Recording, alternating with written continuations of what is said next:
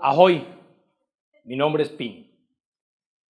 Quiero comentarles cómo un día decidí y entendí que había que ser ciudadano. Ciudadano deliberadamente. Fíjense que un día venía yo gozando cómo iba veleando. Veleaba divinamente bien el barco. Peleaba las olas, rico. De repente, en un momento dado, me rabasa una lancha. Me gusta llamarle los smokers. Esta lancha, de repente, por la borda tiró una bolsa de basura.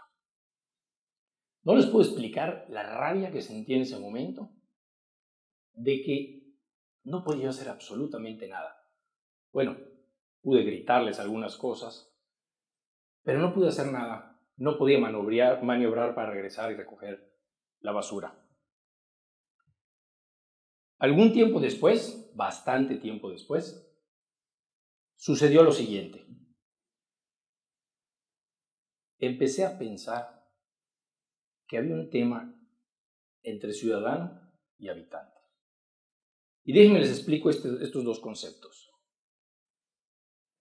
Para ser habitante de un territorio, Basta con tener los pies dentro de él. Nada más. Ninguna otra responsabilidad más que tener los pies dentro de él. En cambio, para ser ciudadano, implica cargas importantes. Muy importantes en el sentido de respeto, de tolerancia, de apertura y sobre todo de estar abiertos a lo nuevo. Tiempo después del suceso que les acabo de contar del velero, tuve la oportunidad de estar yendo por alguna calle de la ciudad. De repente me di cuenta que de la, de la, ventanilla trasera de un taxi salía volando una lata de cerveza. Ay, ahí sí, no aguanté.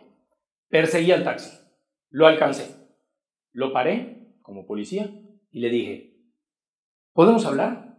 Y él me dijo, estoy llevando a una persona, comprenda. le dije, sí, sí, lo entiendo. Inclusive veo que el señor me parece que no es de aquí de Mérida. No, no lo soy, contestó él. Y yo le dije, mira, lo que acaba de hacer tu pasajero también es tu responsabilidad. Yo me siento sumamente ofendido por lo que acaba de suceder. Yo no lo haría. No lo haría en tu tierra ni lo haría en la de nadie. Yo creo que sería importante que regresáramos estos 100 metros que, que acabamos de transitar todos y podamos recoger la lata. La verdad es que me encantó porque sí se pudo hacer así. Regresamos, recogimos la lata juntos, les di las gracias. Bueno, este ejemplo me va a servir para poderles explicar cuatro elementos muy importantes. Estos cuatro elementos tienen que ver, primero, con uno mismo, con la autogestión de tu ciudadanía. En segundo, tiene que ver con tu conciudadano. Cómo lo quieres, cómo lo tratas y cómo te trata él a ti. El tercero tiene que ver con un elemento sumamente importante, que es la gente que viene de fuera hacia aquí, que trae cosas muy interesantes, cosas muy nuevas, cosas que nos enriquecen, pero que también nosotros tenemos que tener la firmeza de poder decir que esta es nuestra tierra y que nos encantaría que hicieran las cosas de la manera en que nos gusta hacerlas. Desde luego que siempre aprendiendo y siempre teniendo en cuenta que lo que nosotros queremos es vivir felices. Porque déjenme decirles que ser ciudadano es muy placentero. Les voy a platicar. Cuando niño, me acuerdo muy bien de algunas campañas publicitarias. Esas campañas que realmente después de tanto verlas, te marcan la vida. Por ejemplo, había una que decía, eh, Amanda, ciérrale por el tema del agua. Había una también que decía, ponga la basura en su lugar. Papelito que encontré por acá. La otra, que seguramente a mis padres aquí presentes les hubiera encantado que hubiera funcionado, hubiera sido, hijo, cuando salgas de tu cuarto, no olvides apagar la luz. Desgraciadamente, hemos llegado a un momento en el cual hay muchos cambios. Los cambios son globales. Los cambios, los cambios son universales. Si nosotros no estamos preparados, si no estamos convencidos para lo que vamos a hacer, es mejor que podamos agarrar todos los valores y meterlos dentro de una canasta, revolverlos y vamos a ver que va a salir una sola cosa. Un individuo. Ese individuo eres tú. Si tú puedes aprender a respetar, a autogestionarte, a tener muy claro qué es lo que quieres hacer con tu vida, vas a poder realmente gestionar esa ciudadanía. Hace un poco de tiempo también conocí a algunas personas. Estas personas me preguntaban que por qué todo el tiempo hablaba yo sobre la ciudadanía.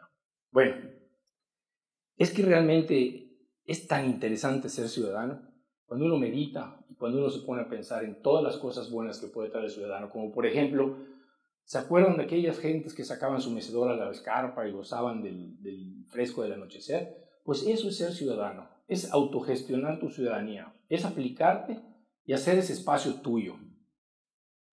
Tenemos que aprender a gozar esas partes, pero también que las personas que están junto a nosotros lo entiendan. Lo que va a pasar es se va a crear una partícula virtuosa. Va a ser un círculo virtuoso. Lo que vamos a empezar a sentir con los demás cuando uno recoge un pedazo de papel de la calle que uno no tiró, no va a ser, oye, mira, este joven recogió un papel, qué bárbaro, un aplauso, eh, tiene una calidad de cívica impresionante. No, no se trata de eso.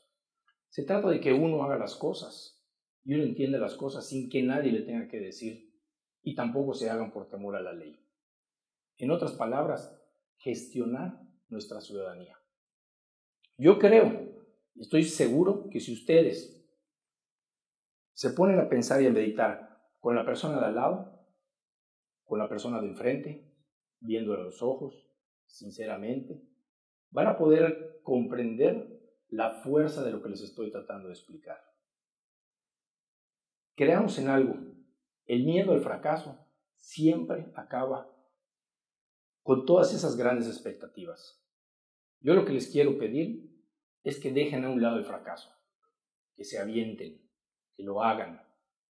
Hoy estoy aquí con ustedes gracias a la invitación de TED. Hace mucho tiempo que yo quería decir y gritar que soy un ciudadano, que me gusta ser ciudadano, que toda mi formación durante mi vida me llevó a ser un ciudadano, orgulloso de mi ciudad, orgulloso de mi gente, orgulloso de lo que hago y de lo que planeo. Pero hay un elemento que no quiero dejar pasar y creo que es también muy importante para todos los que estamos acá, las generaciones futuras. las generaciones futuras no pueden gestionar en estos momentos su ciudadanía. Son los habitantes en este territorio. Entonces tenemos que planear nuestras actividades y ejercer nuestras economías con una sostenibilidad y una sustentabilidad. Tenemos que, sinceramente, hacer, apropiarnos de ese instante y hacer que ese instante sea el apropiado. Yo hoy vine aquí para hacer una propuesta con ustedes. Hagamos una comunidad de ciudadanos. Hagamos una comunidad de ciudadanos con apertura, con tolerancia, con respeto, abiertos a lo nuevo y reiterando que no tenemos que estar de acuerdo, pero tenemos que estar conscientes. Esta ciudadanía realmente la van a aprender a gozar día a día, porque así es como se construye. Yo les quiero invitar a que ustedes hoy recuerden esta tarde con orgullo que recuerden este instante en que ustedes están sintiendo conciudadanos conmigo y yo con ustedes gestionen deliberadamente su ciudadanía. Yo hoy, frente a todos ustedes, reitero que soy ciudadano meridano y muy feliz. Muchas gracias.